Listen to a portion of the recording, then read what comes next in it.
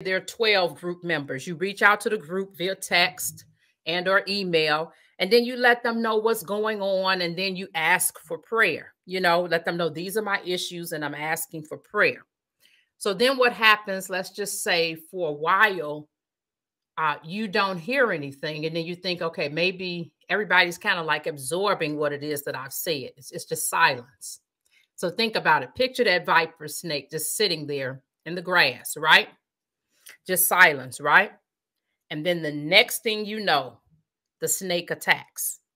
One of the individuals of the group attacks you on every single level, as I just pointed out, with the emotionally all the way down, attacks and cuts through you on every single level, leaving no stone unturned, so to speak, right? And so we're all wired up differently. And we know how some of us can be more uh, aggressive, so to speak, than others. Some of us can be more assertive than others. Some of us can be more dominating than others, right? And so what happens is when you've got a group, there are usually some members of the group that might have more kindred spirits, more laid back, and that type of thing. So, nine times out of 10, the person that's chosen to attack you is not the person that set up the attack. If, if that makes sense, the person that's set up to attack you is just like the viper. They're going to come to you at an angle that you would need, uh, never expect. They're going to use an individual of the group to do the attacking, right? And this is going to be an individual of the group that you would never expect. And the reason it's going to be done that way is because you're going to be so stunned and so shocked that in the sense it's also going to be gaslighting with actions, if that makes sense. You see what I'm saying? It's going to be from an individual who's less domineering, less aggressive. You see what I'm saying? Less assertive, so to speak. And so that's going to actually cause the effect of the attack to actually cut even deeper. And hopefully that's making sense what I'm saying, right? And so what's happening is they're going to cut through you every single area, right? And then what happens is that once the attack takes place, then they're going, what's going to happen is actually before the attack took place, there had already been a lot of secret meetings that you were not in on. And so just the words that came out in the attack themselves is going to clue you into the fact that these individuals had already been talking about me. It was only a matter of time that this was going to happen. Because I failed to seek the Lord when the countenance changed, right? Then after that, all of the Holy Spirit promptings of like knowing that something's off, feeling a spirit of control or whatever other spirits that's coming off of these individuals.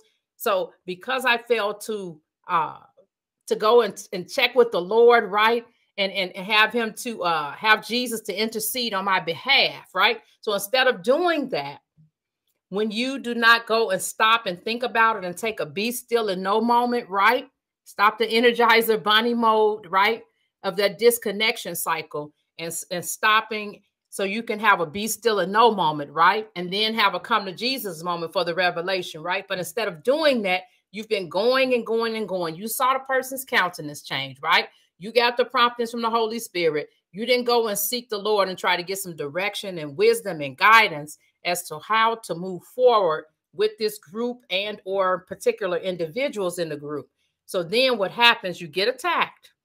And when the attack comes, like I said, they're going to pick the ringleader is going to pick pick a um the like one of the least aggressive uh individuals of the group. And then that particular individual, when they get you, like I said, it's going to be such a shock. You're not really going to know how to respond to it.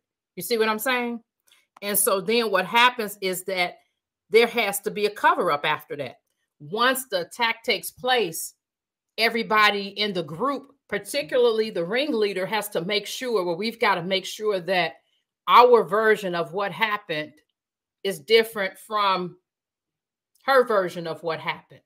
And so what they do is take the members of the group who might not even be narcissistic, but make sure that they pull them on board. You understand what I'm saying? So there's a lot of gaslighting, blame shifting, cover up, and all of that. And then the group will even go so far as sending individual group members to call in or text you and or meet up with you to have you to admit that the whole thing was your fault. So you see what I'm saying? All of the blame shifting and the gaslighting, and then not even taking responsibility for the fact that this person attacked you. And in essence, it was like a whole group attack because as that person attacked you, everybody else was silent. So vipers are really sneaky. And like I said, they use that ambush foraging to do their dirty work. And they will sit for hours at a time trying to figure out what is the perfect angle to come to you at in the perfect moment, right? But it's going to be right when, for some reason, they know you're about to step out of your wilderness season or you're about to be elevated from a higher level than you're already at. So they're just trying to find that perfect moment to pounce, right? And that takes us to number three vipers blend into their surroundings. Think about snakes. Think about being outside, working in your garden, putting seeds in the garden, right? Uh, putting seeds so you can get some what vegetables like some tomatoes and or lettuce, uh, pumpkins. You might even want to uh, grow some beans. Some people grow beans in their gardens, right? Lima beans and black eyed peas and all different type of things you have in your garden. Or you could just be out there planting some flowers.